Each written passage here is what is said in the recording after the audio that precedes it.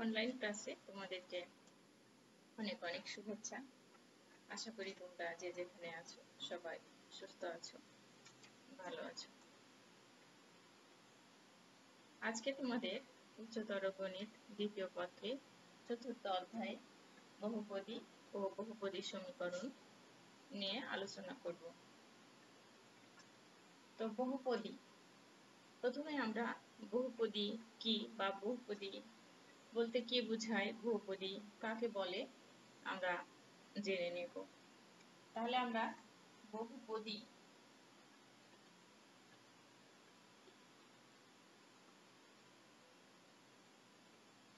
বহুপদী।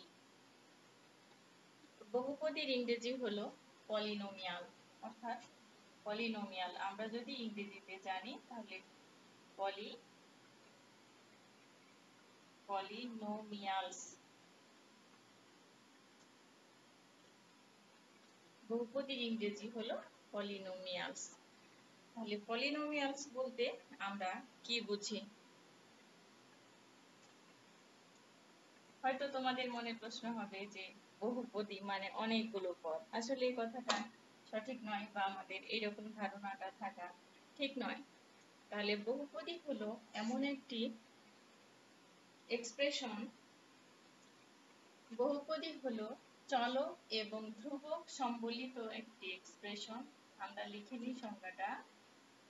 বহুপদী হলো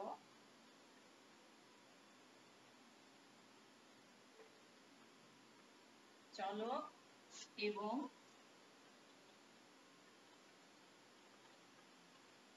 ধ্রুবক সম্বলিত এমন একটি এক্সপ্রেশন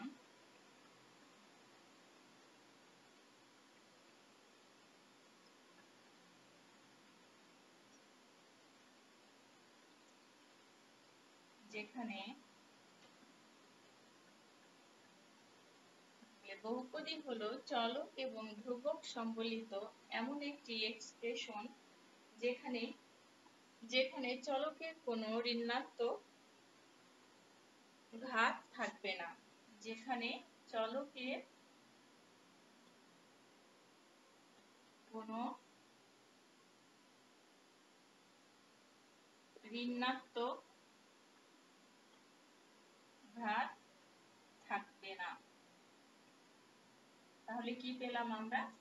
এখানে থাকবে চলো ধ্রুবক যেখানে চলকের কোনো ঋণাত্মক ঘাত থাকবে না।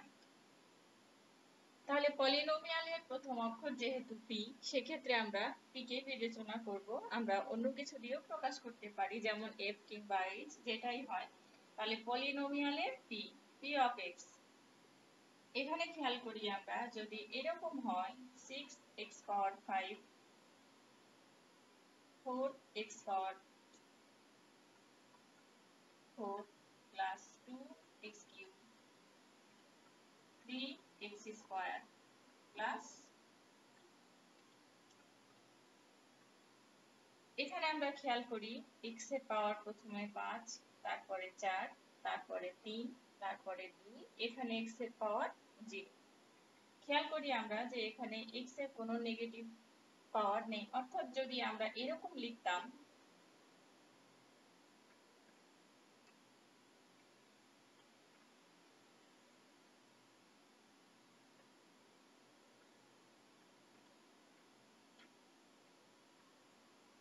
এক্ষেত্রে আমার এরকম হতো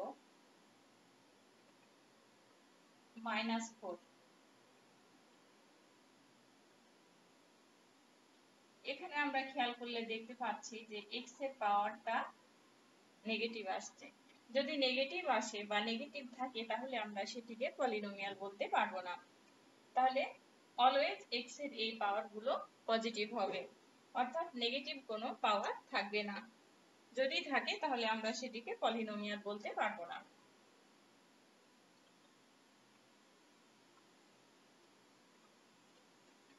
আচ্ছা। এখন এখানে x এর সর্বোচ্চ পাওয়ার 5 তাহলে এই, এটিকে আমরা বলব মুখ্য পলিনোমিয়াল। বাকি এগুলোকে আমরা বলব গৌণ পলিনোমিয়াল তাহলে x এর পাওয়ার সর্বোচ্চ পাঁচ। তাহলে এই পলিনোমিয়ালটা হলো পাঁচ ঘাতের পলিনোমিয়াল এখন আমি যদি এটাকে মুছে দিই বা এটা না থাকে, তাহলে এখানে x এর পাওয়ার সর্বোচ্চ চার। তাহলে এটা হলো চার ঘাতের পলিনোমিয়াল যদি এটিও না থাকে, তাহলে এখানে x এর পাওয়ার তিন। তাহলে এখানে এটা হলো তিন ঘাতের পলিনোমিয়াল এটা মুছে দিলে দুই ঘাতের এইভাবে আমরা যখন বিবেচনা করব, অর্থাৎ প্রতিটাকে যদি আমরা আলাদা আলাদা ভাবে বিবেচনা করি, তাহলে আমরা পলিনোমিয়ালগুলো দেখতে পাবো যে কোনটা কত ঘাতের পলিনোমিয়াল।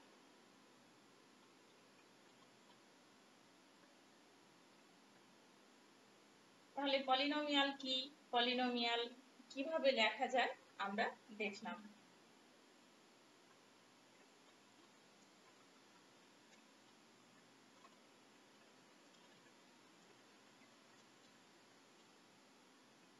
এখন আমরা বহুপদী সমীকরণ, তাহলে পলিনোমিয়াল ইকুয়েশন।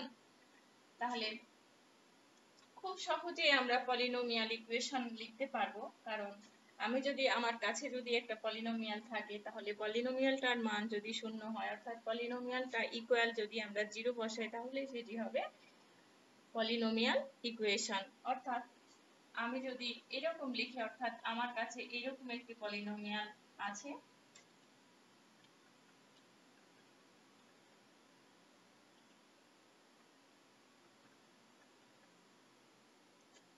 এইরকম একটা পলিনোমিয়াল আমার কাছে আছে। আমি যদি এখানে একটা সমীকরণ ইকুয়াল জিরো বসিয়ে দিই, তাহলে এটি হবে পলিনোমিয়াল ইকুয়েশন তাহলে একইভাবে আমি যদি এটাকে মুছে দিই, তাহলে এটা হবে তিন ঘাত পলিনোমিয়াল সমীকরণ। এখান থেকে এটুকু যদি মুছে দিই তাহলে এটা হবে দ্বিঘাত পলিনোমিয়াল ইকুয়েশন।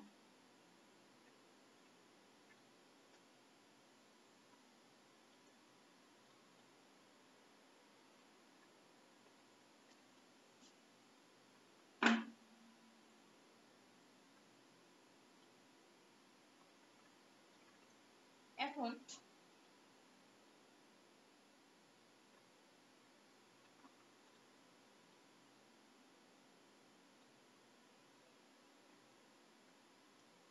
তাহলে এখানে x এর পাওয়ার 2 অর্থাৎ x এর সর্বোচ্চ পাওয়ারের উপরে নির্ভর করবে পলিনোমিয়ালটা কয় ঘাতের পলিনোমিয়াল তাহলে এখানে আমরা দেখতে পাচ্ছি যে x এর পাওয়ার 2 তাহলে আমরা এটাকে বলব দ্বিঘাত পলিনোমিয়াল সমীকরণ।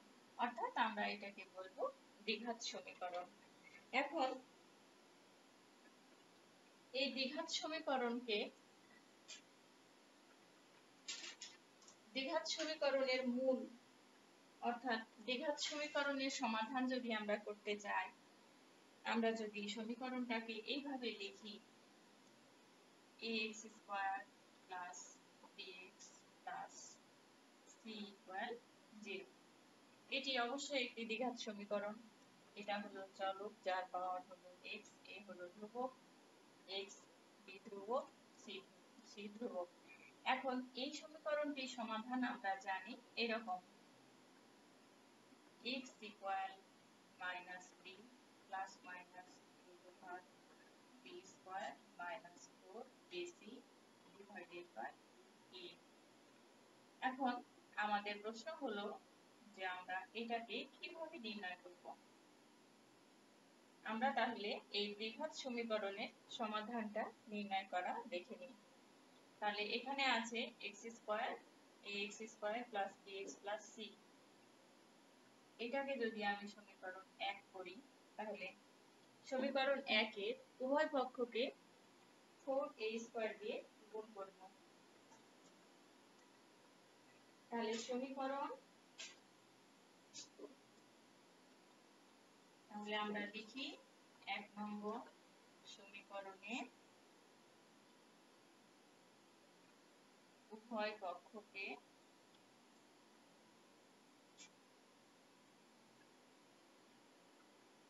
কক্ষকে কোণ এ দ্বারা গুণ করি। আচ্ছা। আমাকে এই সমাধানটা পেতে হবে। অর্থাৎ দ্বিঘাত সমীকরণের দুইটা মূল থাকে বা দুইটা মান থাকে। এখানে কিন্তু সেটাই দেওয়া আছে, অর্থাৎ এটা যদি একবার প্লাস হয়, তাহলে আমরা একটা সমাধান পেলাম। আবার মাইনাস যদি বিবেচনা করি, তাহলে আমরা আরেকটি সমাধান পেলাম। তাহলে দ্বিঘাত সমীকরণের এই সমাধান নির্ণয়ের প্রক্রিয়াটা আমরা একটু দেখে নিচ্ছি। উভয় পক্ষকে 4a দ্বারা গুণ করেছি। তাহলে 4a square x square plus 4a bx plus 4a c equal 0 বা 4a square x square plus ab x plus এখানে মজার বিষয় হলো যে, আমি যদি একটা বি স্কয়ার লিখি, তাহলে এইটুকু একটা সূত্রে রূপান্তরিত হয়। এখন আমি এই বি স্কয়ারকে আমি নিয়ে আসছি, অতএব একে আমার মাইনাস করে দিতে হবে। অর্থাৎ বি স্কয়ারকে আমি আমদানি করলে একে আমার আবারও রপ্তানি করতে হবে। তাহলে আমি এখানে আরেকটা বি স্কয়ার লিখব। এখানে আমার রয়েছে ফোর এসি আমরা খেয়াল করি, এখানে যদি আমি এ ax whole square plus 2 into 2 a bx plus b whole square. এটুকু আমার প্রয়োজন নাই। তারপরে তোমাদের বোঝাবার সুবিধার্থে আমি সূত্রটা তৈরি করে রাখলাম না চাইলে আমরা এটুকুকে না লিখতেও পারি।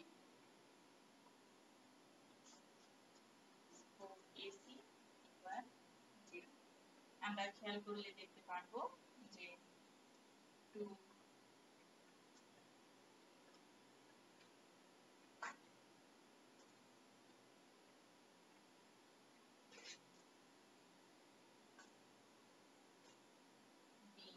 হোল স্কয়ার অর্থাৎ এইটুকুর জন্য a প্লাস বি হোল স্কয়ারের সূত্র, এইটুকুকে আমরা ডান দিকে পার করে দিলাম। তাহলে b square minus four a c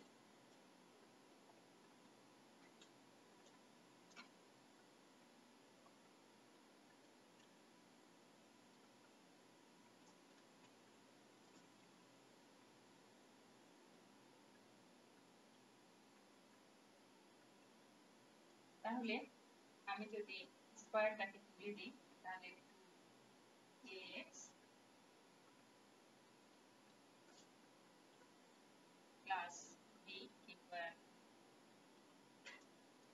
plus minus square minus four ac বা 2ax ইকুয়াল এদিকে যদি বিটা এখানে যায় তাহলে minus b plus minus over b squared minus 4ac অতএব x equal minus b plus minus root over b squared minus 4ac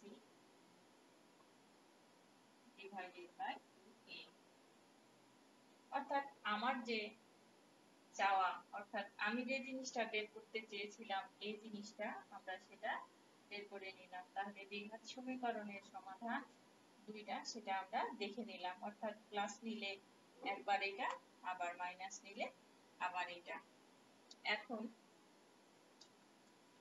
আমরা দ্বিঘাত সমীকরণের যে কোনো একটা সমীকরণকে যদি আমরা এই সূত্রের সাহায্যে সমাধান করতে চাই, তাহলে আমরা উদাহরণস্বরূপ একটা ছোট্ট ইকুয়েশন দিয়ে আমরা এই সমাধানটা বের করে নিচ্ছি। অর্থাৎ আমি এই সমীকরণটা লিখেছিলাম 3x square plus 2x plus 1 equal 0 আমরা খেয়াল করি এটা হলো a, আমরা যদি তুলনা করি তাহলে b, এটি হলো c তাহলে আমি এই রকম সমীকরণের সমাধান কিছুক্ষণ আগেই দেখলাম, x ইকুয়াল মাইনাস b, তার মানে b বলতে 2 plus minus root over b square minus 4 AC into 1. 2A sorry 2A তাহলে minus 2 plus minus 4 মাইনাস বারো divided by six minus two plus minus এখানে কত হচ্ছে? মাইনাস এইট এটা যদি আমরা কেটে দিই তাহলে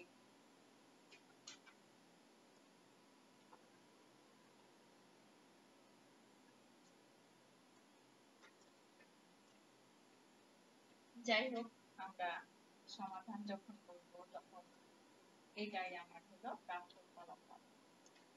তাহলে x এর দুইটা মান পাওয়ার জন্য এভাবে আমরা যে কোনো সমীকরণকে এই সূত্রের সাহায্যে সমাধান করতে পারব। এখন আমরা দ্বিঘাত সমীকরণের মূলের প্রকৃতি জানব। অর্থাৎ মূলের নেচারটা ঠিক কি রকম মূলটা জটিল, মূলটা বাস্তব, মূলটা মূলত বা ঠিক কি ধরনের? আমরা এই জিনিসগুলো এখন শিখব। অর্থাৎ দ্বিঘাত সমীকরণের মূলের প্রকৃতি। তো দ্বিঘাত সমীকরণের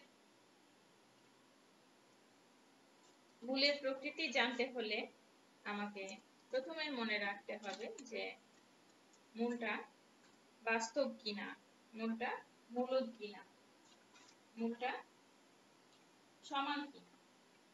তাহলে প্রথমে যদি আমরা দ্বিঘাত সমীকরণটাকে অর্থাৎ ax square plus bx plus c equal 0 আমরা এই সমীকরণের সমাধান শিখেছি, x equal minus b plus minus root over b square minus 4ac divided by 2a এখন এইটুকুর উপরেই আমাকে জানতে হবে যে এই সমীকরণের মূলগুলো কেমন? অর্থাৎ আমি আগেই ধরে নিব বা শিখব যে বাস্তব কিনা।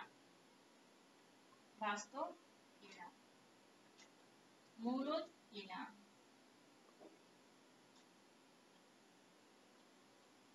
সমান কিনা? তাহলে আমাকে এই তিনটা জিনিস বের করতে হবে যে আসলে মূলগুলো কেমন। তাহলে প্রথমে আমরা যদি বাস্তব কিনা এটা প্রমাণ করতে চাই, তাহলে আমি প্রথম কন্ডিশনে আমি বলে দিচ্ছি যে এবিসি মূলত অবশ্যই মূলত হবে।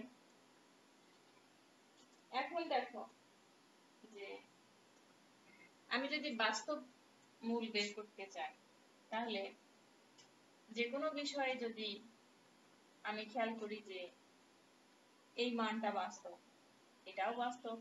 যদি এরকম হয় যে বি এর মান হলো মাইনাস টু এখানে প্লাস মাইনাস আমি এখানে পরে আসছি। এটা যদি এ এর মান যদি ওয়ান হয় অর্থাৎ এখন আমি বলেছি এবিসি মূলত, অর্থাৎ এরকম একটা সমীকরণ নিয়ে আসলে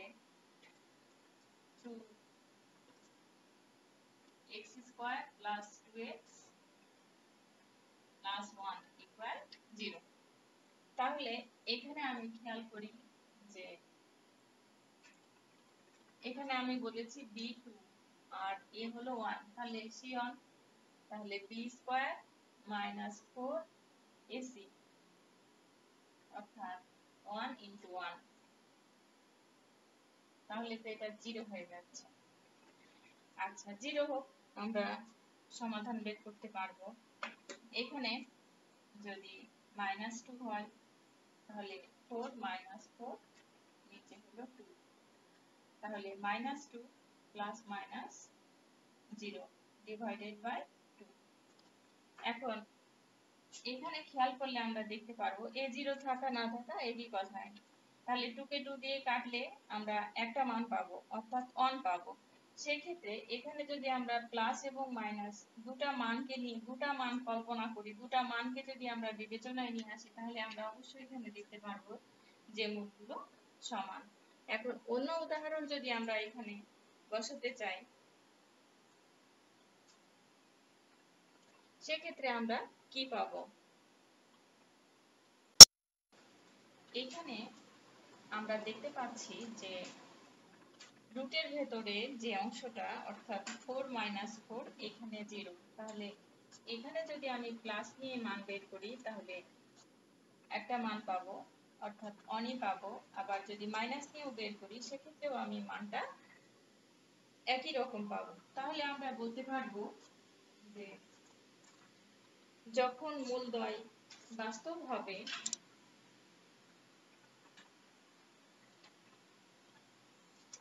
অর্থাৎ আমার সবকিছু নির্ভর করছে এই রুটের ভেতরের এই অংশটার উপরে। তাহলে আমরা বলতে পারব যে মূলদয়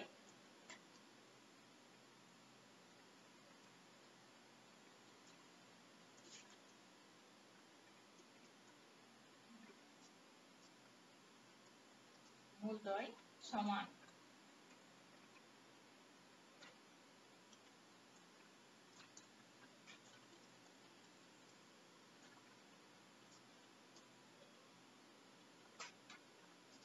মূলদয় সমান হলে b square minus four a c equal zero এখন আমাকে দেখতে হবে বাস্তব কিনা মূলদ কিনা। আচ্ছা। আমি যদি two x square minus three x plus one ঠিক এই সমীকরণটাকে ওইভাবে সমাধান করি, তাহলে আমরা পাচ্ছি three plus minus root over minus three whole square four four a c a আচ্ছা তাহলে three plus minus nine eight root নিচে ফোর অর্থাৎ three plus minus one divided by four. আচ্ছা। এখন এখানে যে মানটা পেলাম বি স্কোয়ার এখন এটা বাস্তব এটা বাস্তব। এখানে যদি কাল্পনিক মান আসতো, অর্থাৎ রুটের ভেতরে মাইনাস হতো, তাহলে কি আমরা এটাকে বাস্তব মান বলতে পারতাম? কখনোই বলতে পারতাম না। তাহলে রুটের ভেতরে যদি কোনো ইমাজিনারি মান আসে, তাহলে আমরা কখনোই বলতে পারব না যে সমীকরণের মূলগুলো বাস্তব। তাহলে অবশ্যই এই মানটা এই অর্থাৎ বি স্কোয়ার মাইনাস ফোর এসির মানটা অবশ্যই এখানে পজিটিভ বা ধনাত্মক আসতে হবে। তাহলে আমরা বলতে পারব যে মূলদয় বাস্তব। তাহলে এই সংখ্যাটা অলওয়েজ গ্রেটার দেন জিরো এটাও পজিটিভ এটাও পজিটিভ এটাও পজিটিভ আমরা যাই হিসাব করি না কেন।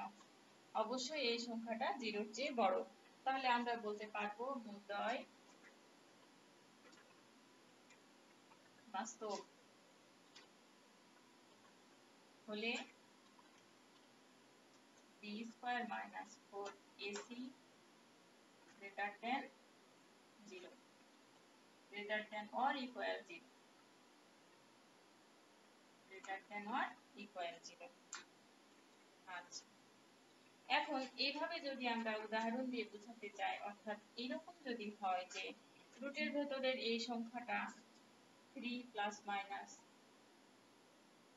উনপঞ্চাশ ডিভাইডেড বাই টু তাহলে আমরা খেয়াল করব যে এই সংখ্যাটা একটা পূর্ণবর্গ সংখ্যা, অর্থাৎ রুট থেকে যদি একে বের করি আমি, তাহলে অবশ্যই এখানে একটা সেভেন পাবো। সেক্ষেত্রে এই পূর্ণবর্গ সংখ্যা যদি হয়, অর্থাৎ রুটের ভেতরের যে অংশটা b square minus four a c যদি পূর্ণবর্গ সংখ্যা হয়, তাহলে আমরা সেটিকে বলতে পারব মূলদ তাহলে আমরা মূলদয় মূলদ হওয়ার শর্ত হলো মূলদয় মূলদ হবে। হলে কি হবে? এই b square minus four a c পূর্ণবর্গ হবে। এটা হবে পূর্ণবর্গ সংখ্যা। তাহলে এই শর্তগুলো অবশ্যই আমরা মনে রাখব। যদি মনে না রাখি, তাহলে আমরা বুঝতে পারব না বা অঙ্ক শিখতে পারব না। তাহলে আমরা শিখলাম মূলদয়, মূলদ হবে যদি বি স্কয়ার মাইনাস পূর্ণবর্গ সংখ্যা হয়। মূলদয় বাস্তব হলে নিশ্চয় greater than or equal zero মূলদয় সমান হলে b square minus four equal zero হবে। এই শর্তগুলো অবশ্যই আমরা খুব ভালোভাবে মনে রাখব। এখন আমরা দেখতে পাচ্ছি যে যখনই আমরা মূলের সমাধান বের করছি বা যে কোনো দ্বিঘাত সমীকরণের মূলের প্রকৃতির ক্ষেত্রে আমরা দেখতে পাচ্ছি যে সবকিছু নির্ভর করছে এই বি স্কোয়ার মাইনাস ফোর এসির উপর। তাহলে a b square minus four এসিটাই হবে দ্বিঘাত সমীকরণের নিশ্চায়ক। তাহলে b square minus four a c এই এসিটাই হবে দ্বিঘাত সমীকরণের, দ্বিঘাত সমীকরণে নিশ্চায়ক, দ্বিঘাত সমীকরণে নিশ্চায়ক। অর্থাৎ এটা নিশ্চিতভাবে আমাদেরকে বলে দিচ্ছে যে সমীকরণটার প্রকৃতি ঠিক কীরকম হবে? বাস্তব হবে নাকি মূলত হবে নাকি সমান হবে। তাহলে অবশ্যই আমরা এটাকে দ্বিঘাত সমীকরণের নিশ্চয়ক হিসাবেই জানব। নিশ্চয়কের ইংরেজি হলো ডিসক্রিমিন্যান্ট